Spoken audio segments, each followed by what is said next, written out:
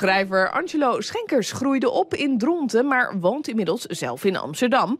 Een foto die hij kreeg van zijn oma maakt hem zo nieuwsgierig dat hij in zijn familiegeschiedenis dook. Ja, het verhaal dat hij zo ontdekte schreef hij op in het boek Voor Altijd op de Vlucht. Nou, Angelo is hier bij ons. Goedemiddag. Goedemiddag.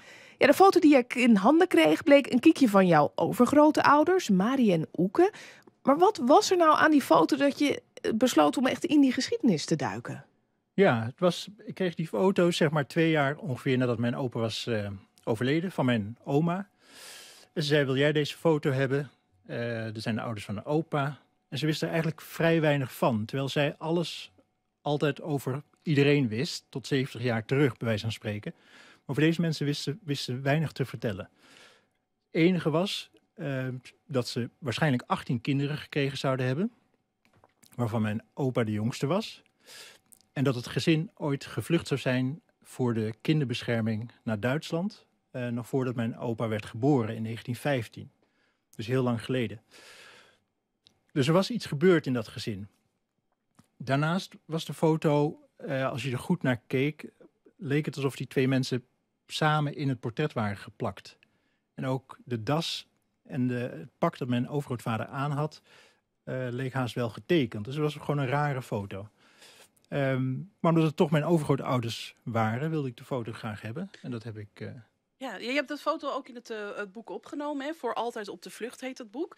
Um, ja, als ik er naar kijk, dan, zijn ze dan al op leeftijd? Want ja, vroeger zagen mensen op jonge leeftijd er al best wel oud uit. Hoe oud zijn ze ongeveer op die foto, denk je? Ze zijn uh, in de zestig ongeveer. Oké, okay, ja. dus alle kinderen waren al geboren? Precies. zijn ze dan inmiddels alweer terug in Nederland? Uh, ja, zeker. Want die, die foto uh, die is rond, daar kwam ik ook later achter, zeg maar in de jaren 40 is die genomen. Oké. Okay. En toen uh, waren ze alweer terug van weg geweest. Uh, nou is, um, ja, heb je in het boek vier generaties geschiedenis opgeschreven. van jouw overgrootouders tot jouzelf. Wat is nou een ontdekking geweest dat je dacht, nou dit vind ik zo bijzonder dat ik daar opgestuurd ben? Um, nou ja, allerlei dingen. Je, je valt van de ene verbazing in de andere. In de eerste plaats hoe heftig eigenlijk dat leven is uh, geweest in Amsterdam rond 1900. Ja, want ze zijn dus naar Amsterdam verhuisd, hè? Vanuit Leeuwarden, eind 19e eeuw, zijn ze in uh, Amsterdam terechtgekomen. Eerst met twee kleine dochtertjes hadden ze. En toen zijn ze in de buurt van de Nieuwmarkt, uh, de Wallenbuurt, daar zijn ze, dat waren hele arme buurten, uh, zijn ze terechtgekomen.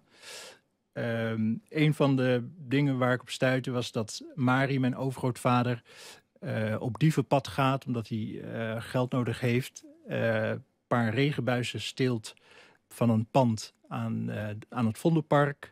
Gepakt wordt samen met zijn vriend Bonne Bons, die ook uit Leeuwarden kwam. Um, ze zitten vast bij het Leidse plein, bij het Weteringscircuit. Um, en ze worden vervolgens uh, vervoerd, een paar weken later, naar Alkmaar, naar de gevangenis al daar. En Mari was een oersterke grondwerker. En die wilde helemaal niet naar Alkmaar. En die heeft, uh, terwijl hij vastgeketend zat met, met stalen boeien, in die dievenwagen heeft hij zijn, zijn handboeien weten uh, los te rukken.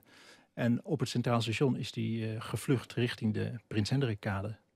Dat... Richting huis natuurlijk. Ja, ja. Ja. ja. Maar waar heb je dit dan gevonden? Want je vertelt het nu alsof het zo voor je zich afspeelt. Maar dat, dat moet je ergens teruggelezen hebben. Ja, ik ben als een, als een gek gaan speuren in onder andere het Amsterdamse Stadsarchief. In Leeuwarden, in Haarlem. Daar kun je heel veel vinden. Je kunt heel, heel veel vinden in oude uh, uh, kranten. Ja, alle kranten zijn gedigitaliseerd. Uh, rechtbankpapieren. En zo heb ik die hele, dat hele verhaal gereconstrueerd. Ja, en dan kom je dingen tegen die niet zo leuk zijn eigenlijk ook. Hè? Eh, heftige nee. dingen, dat wist je ergens al toen je uh, aan, uh, aan de zoektocht begon door die foto. Is het dan moeilijk om te bekennen van ja, maar dit is dus mijn familie... waar ik niet zulke leuke dingen over schrijf? Ja, nou ja, ja. ja. En, uh, maar ik vond toch, omdat mijn opa zeg maar niet over dat verhaal sprak, over zijn familie... dat ik het dat ik het hele verhaal moest vertellen. Um, en dat is niet leuk, maar het is wel een verhaal dat... Kijk, die levens zijn niet voor niks geleid. Uh, anders verdwijnt dat in de geschiedenis als anoniem. En um, kijk, mijn opa zei over mijn overgrootmoeder... Uh, ze, ze had het niet makkelijk. Dat is echt een understatement. Het was gewoon een hel geweest. En dat moet, eh, moet verteld worden, ook al is dat niet, eh, niet leuk. Nee, maar 18 kinderen, dan ben je gewoon eigenlijk altijd zwanger. Exact. Eh, toen mijn opa werd geboren, was ze zelf ook al oma, bijvoorbeeld. Ja, het is Dus dat, eh, een wonderlijke geschiedenis. Heb je over je oma ook veel dingen kunnen vinden? Want ik begrijp, als je opa wel eh, op het dievenpad gaat, zodat je daar nog wel wat over vindt. Maar wat vind je dan over je oma terug? eh, overgrootoma. Over, sorry, overgrootmoeder. ja, over grootmoeder. Ja. Daar vind, nou ja, kijk, op een gegeven moment komen ze, of ja, eigenlijk vrij snel al in contact met, met, met de gemeente om steun aan te vragen. En die steunverzoeken die worden eh, vaak door de man gedaan, maar soms ook door de vrouw. En dan schrijft ze bijvoorbeeld dat, dat, eh, dat haar man werkloos is en dat ze, eh, dat ze de huur niet meer kan betalen en daarom teruggaat naar Leeuwarden. En dat ze geld vraagt om de, om, voor het treinkaartje eigenlijk. Dat soort dingen vind je. Ja. Ja. Uiteindelijk besluit de gemeente om de kinderen eigenlijk weg te halen in het gezin. Daar gaan ze voor op de vlucht.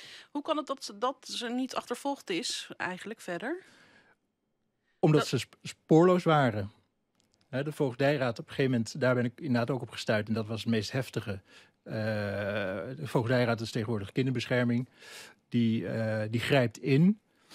En eh, daarna verdwijnen ze van de radar. Ja, moet je zo'n groot gezin dat dat van de radar kan verdwijnen. Maar omdat ze natuurlijk de grens Ja. overgaan, zie, is Nou het ja. niet meer in zicht. De jongste kinderen, zoals mijn...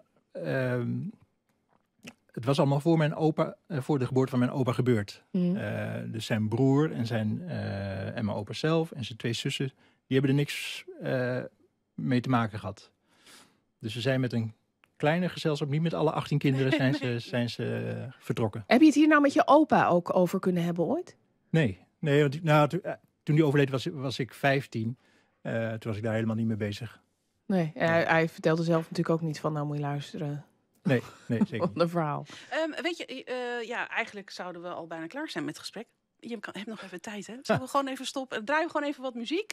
eh, en dan, eh, dan komen we zo weer even terug. Want eh, ja, we moeten natuurlijk ook weten hoe eh, jouw familie ook in Dronten is beland. Eh, blijf even bij ons.